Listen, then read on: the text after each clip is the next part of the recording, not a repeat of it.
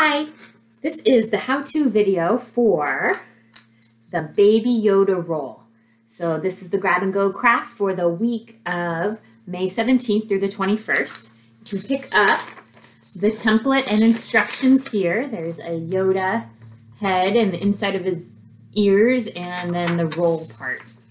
So first, you can color it or you can trace it on cardboard or um, colored paper, whatever you'd like.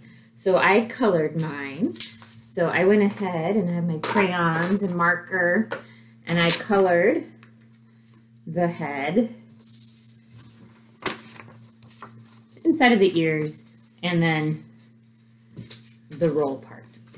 So make sure to color. I added some eyes and a nose and a mouth.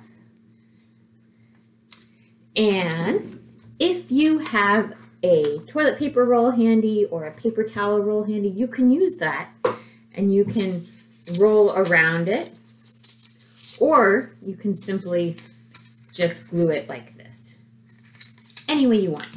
So there's a long strip and you can put that on the top.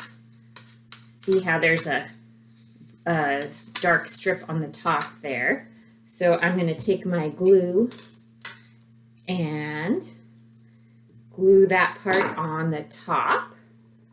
Can you see? And then there's a little part here that I'm going to glue in the middle. And then that kind of looks like what baby Yoda wears. Remember baby Yoda's name? Have to, I have to look that up. Um, so I have a toilet paper roll handy, so I'm going to go ahead and roll it around that. And you can glue it, or I'm going to take a strip of tape here. And then you can put the head right on the top, just like this one. So, oh, don't forget, there's the inside of the ears if you want the pink part inside of the ears.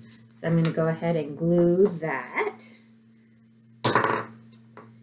in his ears.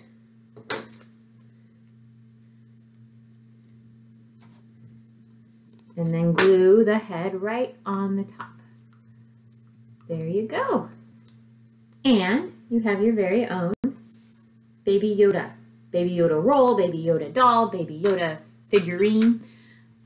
Um, have fun doing this. And you can grab them from the curbside table during our curbside hours, Monday through Friday, or when we're open. So right now that's Monday and Wednesdays from 10 to 4. So have fun, and I'll see you next time.